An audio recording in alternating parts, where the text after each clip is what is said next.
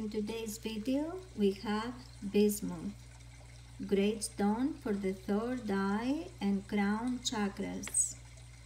This element stimulates energy and vitality and can help you to achieve your goals. Relieves feelings of being overwhelmed and feelings of loneliness or isolation. Increases energy levels to help promote productivity. Bismuth can help freely to travel from physical plane to realms of astral or and spirit.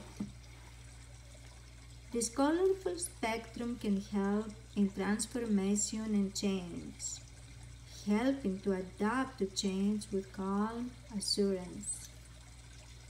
The rays of this magnificent crystal is enchanting. The colors of the bismuth can activate the chakra and allows the energy to flow easily. Love and light everyone.